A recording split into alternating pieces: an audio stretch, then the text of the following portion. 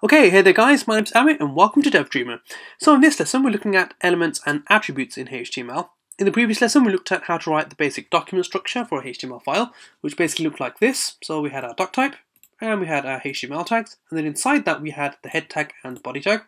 And we also looked at um, syntax as well for HTML, in other words, how to write HTML.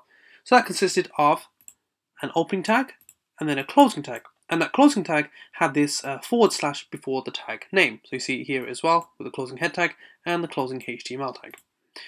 So in this lesson then we're looking at elements and attributes. Let's start with elements. What exactly is an element? Let's look at an example. Let's write an opening paragraph tag. Then we have our closing paragraph tag. And let's put some content in here. So let's just type in DevDreamer. So we know that this is an opening tag we know that this is the content, and we know that this here is the closing tag. So what exactly is an element? Well, this whole thing collectively is known as a paragraph element, okay? So we can have another element on here as well, so we can say uh, another paragraph tag, and let's just type in HTML. So our web page then currently consists of two elements, two paragraph elements. We have one here and we have one here. And we can put another thing on the page. Let's go for a H1. And we'll look at all these tags a bit later on so we can say uh, this is a h1 tag. So now our web page consists of three different elements. Uh, well, three elements. We have two paragraph elements and we have one h1 element. So an element is basically the name given to um, the whole thing. So we have opening tag, content, and then the closing tag. Okay, so that's basically what an element is. So what is an attribute?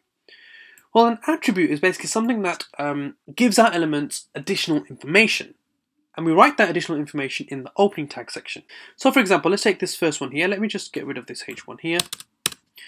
So in this first paragraph element here, that says DevDreamer, in the opening tag, I want to just click here and then do space. And then I want to put some additional information into this first element. So I'm just going to write in here title. And then we have equals, and then in quotation marks, we write, let's just write, um, hey there. Okay, now, well, what has that done? Well, if we go back to our web page, if I now hover over this, you can see a little tooltip pops up that says, hey there, okay? And that's because I've given this first paragraph element the attribute of title, hey there. If I was to hover over our second paragraph element that says HTML, Nothing. Nothing happens. I can stay there all day and nothing will happen. That's because I haven't given this one um, an additional attribute. Now there are many different attributes and um, depending on what element you used, this will determine what attributes you can actually use. So um, for example, let's look at uh, an anchor tag.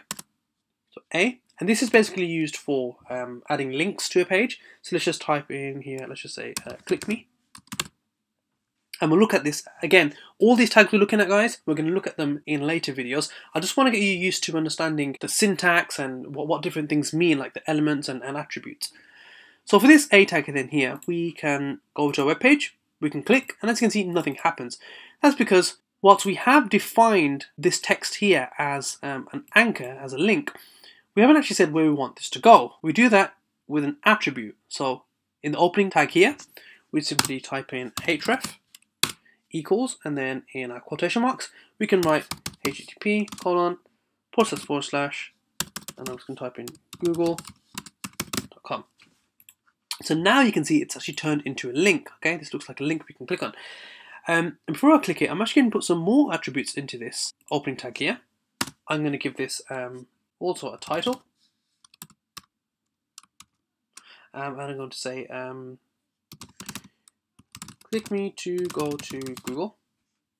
Okay, so again, we can hover over it now and it will say, click me to go to Google. And then finally, I'm actually going to say target equals, and then this is basically how we want to open. Do we want to open in the same uh, tab, in a new tab? I'm going to go for a new tab. And to that we do underscore blank. So now we've got all our information in here. So I'm going to click on this. And as you can see, it's taken me to Google and it's opened it up in a new tab. Okay, so that's basically then the difference between elements and attributes, um, how we use them. So very quick, very simple. In the next lesson, we're going to be looking at these two sections in a bit more detail. We're going to look at the head. Let's rid of this.